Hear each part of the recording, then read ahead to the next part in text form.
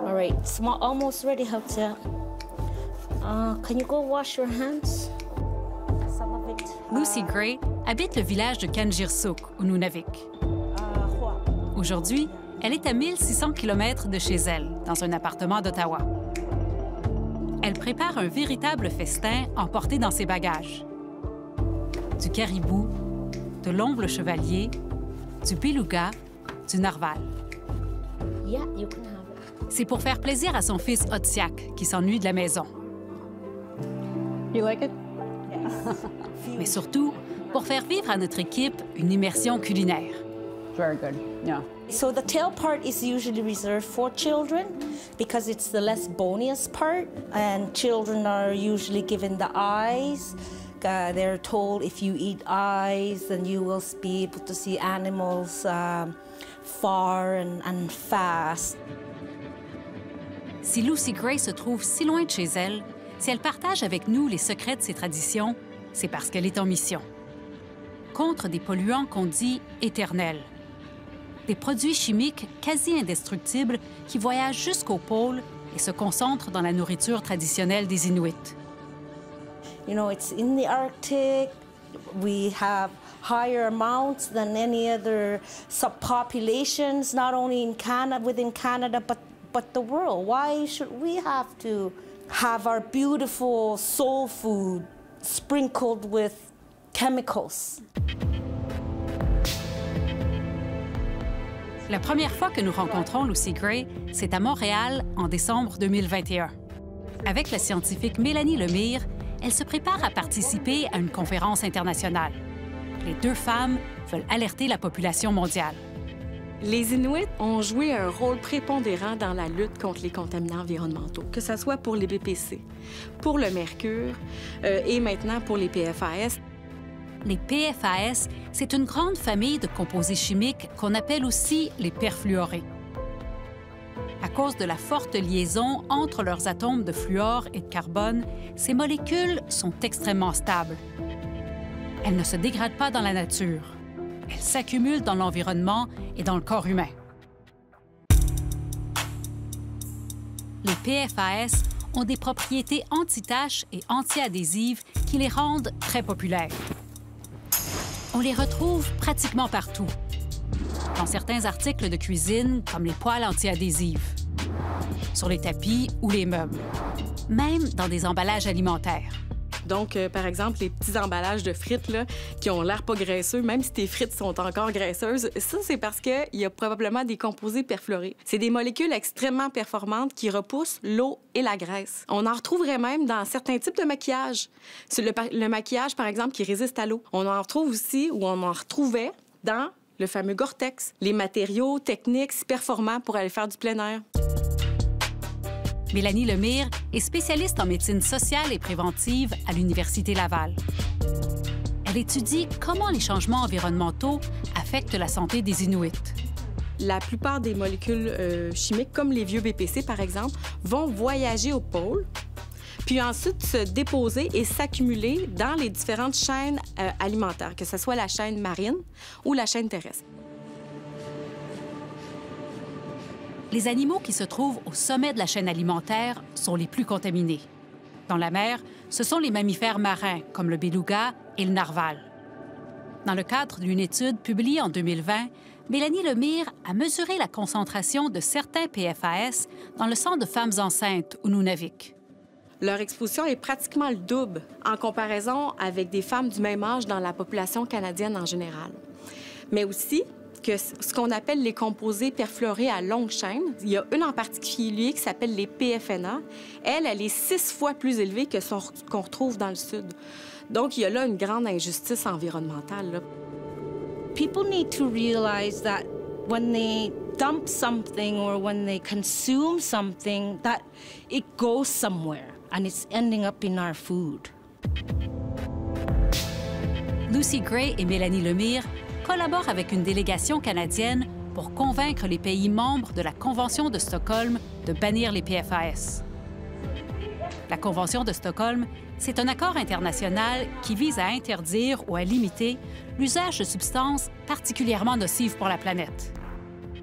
The international we need to convince the leaders in other countries that this is a worth this is worthwhile. You need to ban these chemicals. They are not essential, but feeding ourselves, nourishing ourselves, practicing our culture, living in a, in a clean environment is our right. Les PFAS ne datent pas d'hier. L'un des tout premiers membres de la famille, le PFOA, a été créé par des chimistes dans les années 1940. No name more honored than DuPont, contributor of many products that make life more secure. Les sociétés 3M et DuPont en ont aussitôt fabriqué des quantités phénoménales. Ils servaient, entre autres, à fabriquer le revêtement antiadhésif Teflon. Food doesn't stick to Teflon like it does to other things. Une usine de DuPont, située à Parkersburg, en Virginie-Occidentale, s'est retrouvée au cœur d'une poursuite judiciaire. L'affaire a révélé à quel point le PFOA était nocif pour la santé. L'histoire commence au début des années 1980, quand DuPont achète un bout de terrain d'un fermier pour racheter des résidus qu'il dit inoffensifs. Après quelques années, le fermier s'est rendu compte que le petit ruisseau qui passait à côté de chez eux commençait à changer de couleur, commençait à avoir de la mousse. Puis les vaches qu'elles laissent s'abreuver euh, au ruisseau tombaient malades ou mouraient.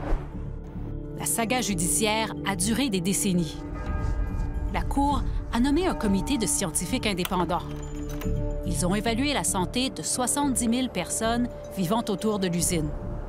Puis ils se sont rendus compte aussi qu'il y avait un lien probable entre l'exposition au PFOA et diverses mesures de santé, dont une augmentation du risque de colite ulcéreuse, d'hypertension pendant la grossesse, aussi une augmentation du risque de maladie thyroïdienne, d'hypercholestérolémie, puis aussi une augmentation au niveau du risque du cancer du rein et euh, du testicule. Depuis, l'Agence américaine de protection de l'environnement a fixé une limite pour la concentration de PFOA dans l'eau potable. Santé Canada a aussi adopté des lignes directrices. Le problème, c'est que les chimistes ont créé des milliers d'autres molécules appartenant à la même famille, de nouveaux PFAS qui, pour la très grande majorité, ne sont pas réglementés. Même à de faibles concentrations, ils semblent causer des problèmes pour la santé. Par exemple, ils affaibliraient le système immunitaire. Marc-André Werner est professeur à l'École de santé publique de l'Université de Montréal. La toxicité des PFAS, c'est sa spécialité. Les données qu'on a pour l'instant, il n'y en a pas beaucoup, mais ce qu'on voit, c'est qu'il semble y avoir euh, plus d'effets graves liés à des infections à la COVID chez les gens qui ont des concentrations de PFAS plus élevées dans leur sang. So next is the matak.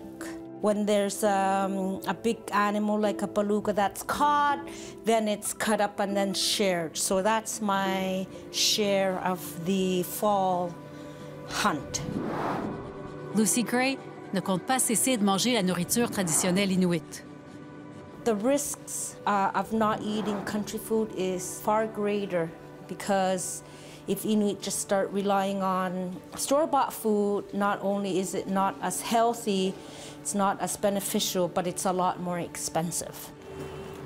En se battant pour préserver ses traditions, Lucy Gray lutte pour la santé de tous les Canadiens. Même si le Canada n'a jamais produit de PFAS, nous sommes tous exposés à différents degrés. Malheureusement, on importe une grande partie de nos biens de consommation. Donc, il y a une grande partie qui échappe à la législation canadienne parce que c'est très difficile de savoir la composition chimique des produits qu'on importe. Dans le sud du Canada, les PFAS se concentrent dans les sites d'enfouissement. On les retrouve aussi sur le terrain des aéroports et des bases militaires où l'on utilise des mousses à base de PFAS pour s'entraîner à éteindre des feux de pétrole. Nous avons prélevé un échantillon d'eau potable de l'aqueduc de la ville de Montréal. Nous l'avons apporté à Sébastien Sauvé, professeur de chimie à l'Université de Montréal. Il a mis au point l'un des laboratoires les plus sophistiqués au monde pour mesurer les PFAS dans l'environnement. Donc, il y en a, c'est clair. Dans à peu près tous les échantillons d'eau potable, on en trouve. Euh, même dans l'eau embouteillée. Au cours des dernières années, Sébastien Sauvé a mesuré les PFAS dans l'eau potable de près de 400 municipalités du Québec. Dans pratiquement tous les échantillons, il a trouvé des PFAS. Dans notre propre échantillon, il a détecté des traces de 19 molécules de la famille des PFAS. Les échantillons d'eau potable qui ont été produites à même le fleuve Saint-Laurent sont habituellement plus élevés, à peu près le double que les autres. Et bon, on attribue vraiment à la charge urbaine. Euh, tout le long du fleuve Saint-Laurent puis des Grands Lacs, il y a, il y a- il y a beaucoup d'usines, il y a beaucoup de villes, il y a beaucoup de sources de perfluorés. Les systèmes de traitement de l'eau potable n'arrivent pas à enlever les PFAS. Toutes ces propriétés qu'on aime, vu que c'est antisalissure, et, et- etc., ben, font aussi que ces mêmes propriétés-là font que c'est difficile de les détruire par une attaque chimique parce que la molécule est stable et sont aussi difficiles à retenir avec du charbon, avec une résine ou autre chose. Les concentrations de PFAS trouvées par Sébastien Sauvé sont en dessous des recommandations actuelles pour l'eau potable. Mais au fur et à mesure que les recherches progressent, les normes deviennent de plus en plus strictes. Le plus simple, ce serait de bannir les PFAS à la source. Where it affects pregnant women and unborn babies. Lucy Gray et Mélanie Lemire n'ont pas pu partir pour Genève, où se tenait la réunion de la Convention de Stockholm. La COVID a compromis leurs plans. Elles ont fait leur présentation à partir d'un appartement loué pour l'occasion à Montréal. This is another challenge for our community members at large. Leur démarche a été couronnée de succès. Grâce à la délégation canadienne, plusieurs polluants de la famille des PFAS vont être soumis à une évaluation pour éventuellement être inscrits à la Convention de Stockholm. Les scientifiques engagés dans cette bataille rêvent déjà d'aller plus loin. L'industrie, elle, elle a plusieurs molécules de remplacement dans sa poche arrière qui est prête à ressortir dès qu'on va bannir un des produits. Pour les experts en santé publique, il ne faut pas bannir les molécules une à une. C'est toute la famille des PFAS qu'il faut contrôler. Lucy Gray compte participer à la prochaine rencontre de la Convention de Stockholm l'automne prochain à Rome. I have to trust in the system that's been put in place by the international community. I am very hopeful that and, and confident that they will use precautionary measures because it's not only affecting us and, and our diet and our food, it's affecting um, the whole world. Are you going to keep fighting? Yes, definitely.